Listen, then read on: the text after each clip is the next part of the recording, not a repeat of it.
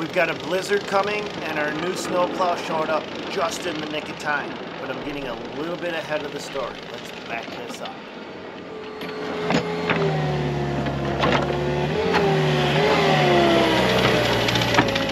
Go!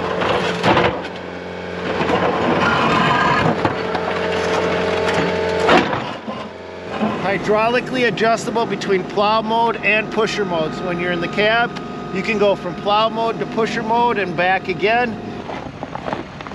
I don't think anything we ever do when it gets to be one degree out is ever easy. What's going on? We got the, did the slide start? Clutch started just fine. The ASV just Is it even trying to turn over? Because you could have bumped a switch coming in and out, which disconnects the, the electrical on it. Because it was running less than nine hours ago last night, just Yeah. fine, right? It just fine. Just turned it off. And Okay. The weatherman is reporting eight to 10 inches of snow coming over the next two days with 40 to 50 mile an hour winds going to be gusting and blowing. He says that it's going to be blizzard conditions without it snowing. It's going to be so bad. Here it is. We're going to meet Godfrey. He just drove all the way from Illinois. Godfrey, Alrighty. nice to meet you, sir. Nice to meet you. hooked up. So this does run off from both a hydraulic attachment and an electrical attachment. Now the uh, ASV has what's called an 8-pin electrical setup. Uh, other pieces of equipment typically have like a 14 pin. So we've got to connect it to here as well as to here to make this operate.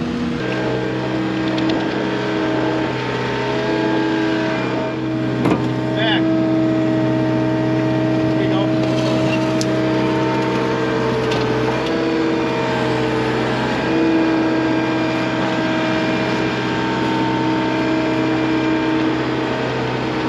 really got that big bar right there. That's the ASV blocking right where you're trying to see that. Hold on, I'll just check them.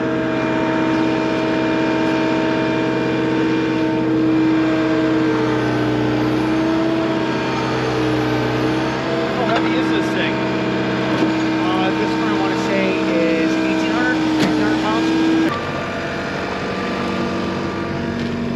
All right, so there's our electrical line, there's our two hydraulic lines. Uh, but let's take a look at what how this unit operates. We're finally an adjustable wing plow that has nearly all the advantages of an Arctic sectional pusher and an Arctic sectional power angle plow all in one unit. There are other wing plows on the market, but none of them offers Arctic's patented and unmatched true sectional features and benefits which allows the plow to self-level and contour to the pavement, trip over obstacles, and shear off hard-packed snow and ice, scraping down to, to bare pavement in a single pass. So this, if we hit a curb or something, one section will flip up and the cutting edge will flip over, but the rest of it has a clean scrape all the way down. Forgiving, impact absorbing poly block design. So right here, these are shock absorbers. These are shock absorbers and they will take the brunt of the and they are designed to break. They are designed to break so the rest of the unit doesn't break on it. Pin in place pivoting slip hitch mounting system right here. So this is the mounting slip hitch right here. So this is designed to allow the whole unit to float separately from the machine itself. And when the unit floats separately what it does is that follows the contours. The machine drives ahead and this stays on the ground AR400 spring-loaded trip cutting edges. Here's the actual cutting edges come down underneath here. So here you go. You can actually see them underneath there. Okay, so let's take a look at some of the other key features. All hydraulic hoses are identical, making repairs and part stocking simple. If you break one, they're identical. If you've got one hose, you got your back in business for all of them.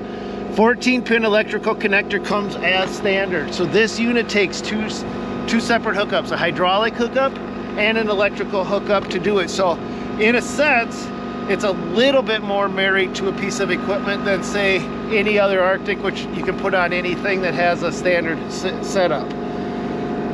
Hydraulic plow hydraulically angles up to 25 degrees per side free floating wings. So let's talk about these wings here real quick. hydraulically adjustable between plow mode and pusher mode. So when you're in the cab, you can go from plow mode to pusher mode and back again. These wings have their own trip cutting edge and they are AR400 spring-loaded trip cutting edge on each wing that conforms to the pavement and scrapes to the ground. So right here is the AR400 trip cutting edge. One thing to note, the wings do not fold all the way back. They'll go straight, they'll go into containment, and the entire plow will angle. And I'm going to ask the engineer that developed this why they won't fold back. Just a moment. All right, let's put her to a real test and start moving some snow.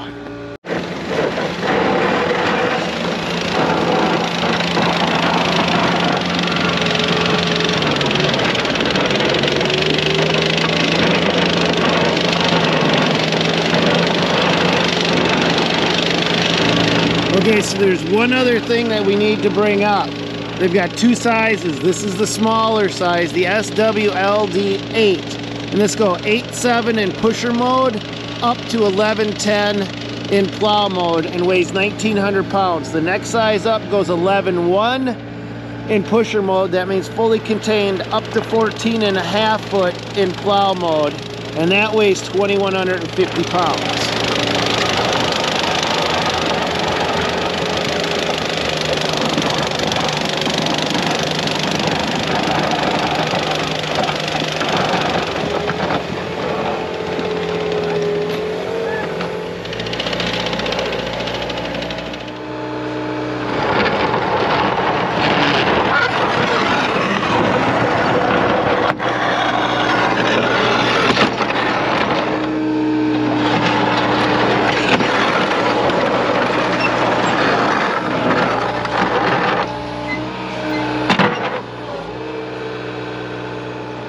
So wait a minute, what do you mean the wing is patent pending? That's what was you were waiting on? What, what's going on with that, Blake?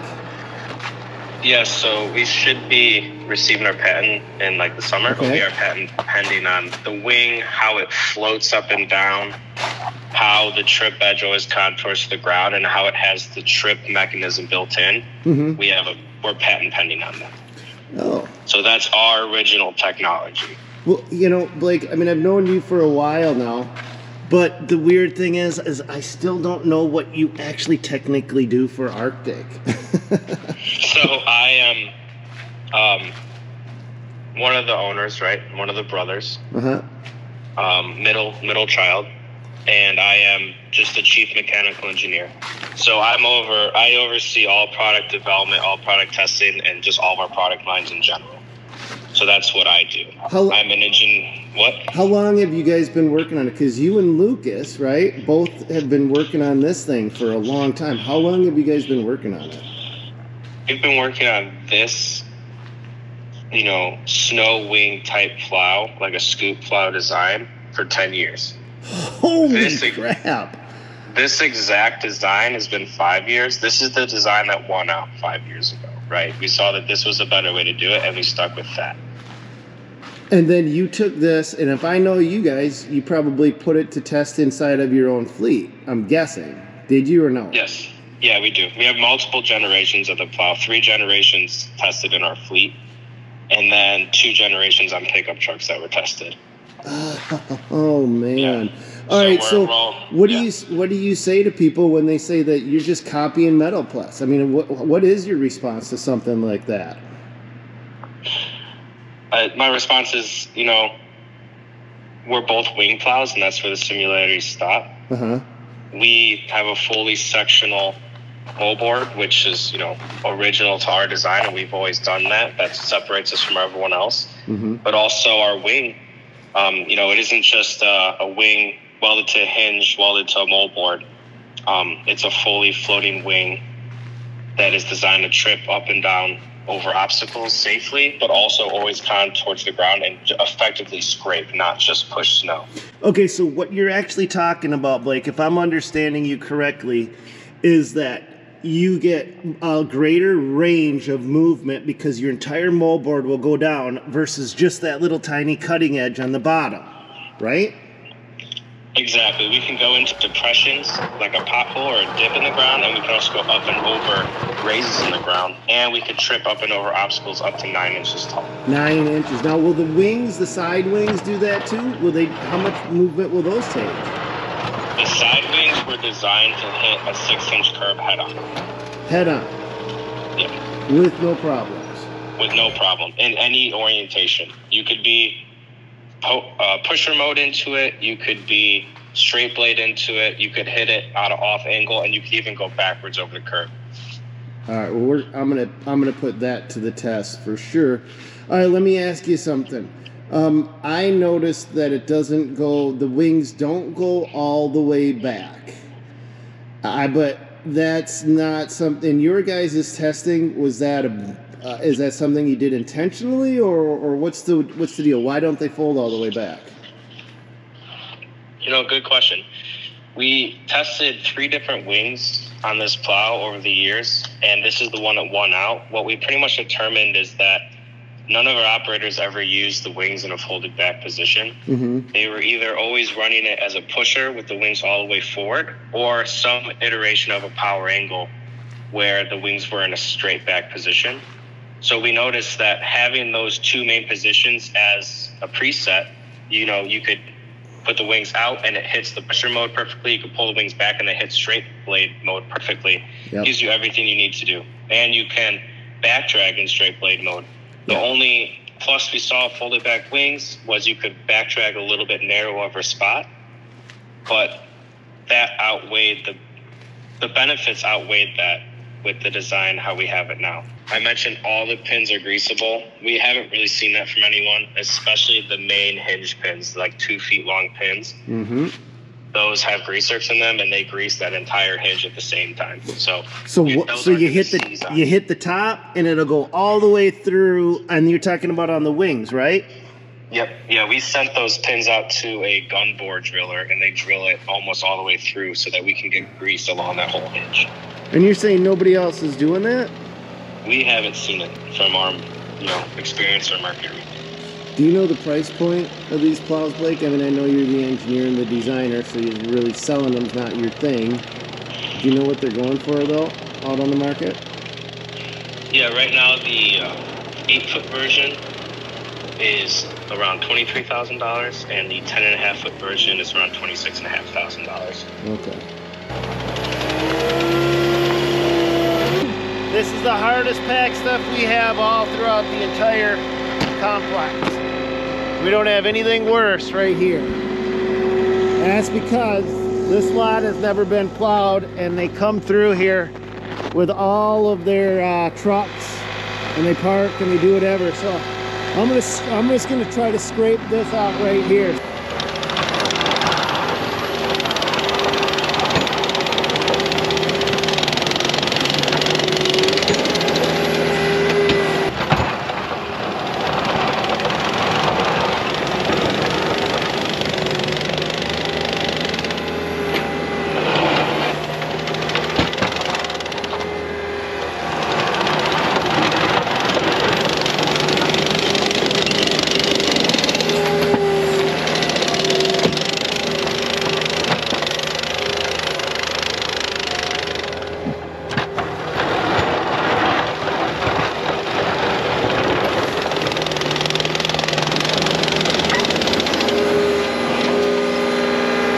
This is freaking nuts. That should have never came up like that. Let me hit her again.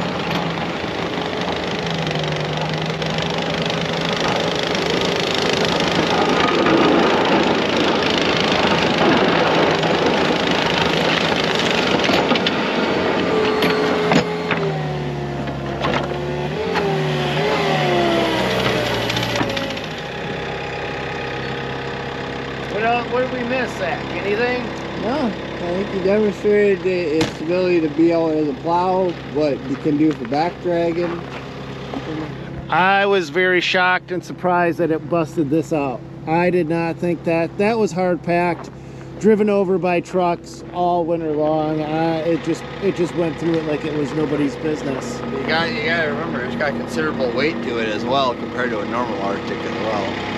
1800 1910 pounds. Kind of wish we would have got the next size bigger. Rt75 this machine comes in at 9800 pounds. And this is the sdl uh, dash 8 so this will go from 8 foot uh, 10 to 11 foot. Um, yeah i think that's going to call it for this one. We're going to be putting this thing to the test tonight tomorrow and the next day. 8 to 10 inches of snow coming with 40 and 50 mile an hour winds so it's gonna be, even when it's done snowing, with the winds coming in, they're gonna be considering it a ground blizzard at that point. So it'll be interesting to see. All right, well, let's get our path up to the top of the hill so we can mount the camera so you guys can see the lot.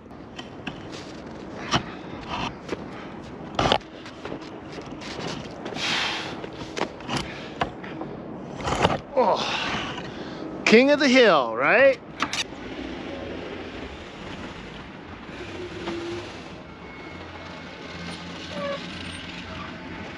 Well, Minnesota certainly hasn't let us down, at least not in our neck of the woods. We've gotten almost as much snow in the last four weeks as we'll get over the course of an entire season, which makes it the perfect test ground to really put this, no, this new snow wing through the gamut. So if you guys want to see how well it can hold up, make sure you hit that subscribe button and keep your eye open for it in future videos.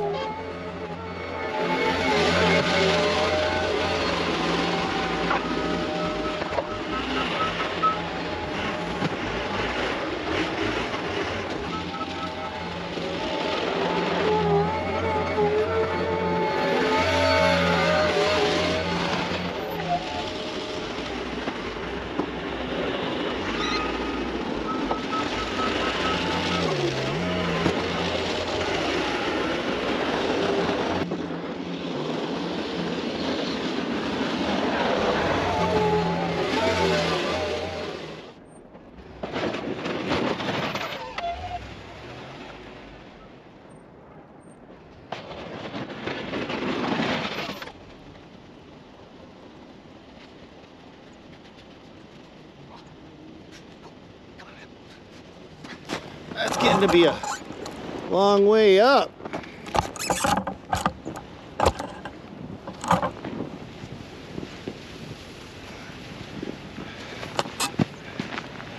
Gets to be a long night after you're climbing snowbanks and plowing and working in the cold. And... But it's all good. Ooh.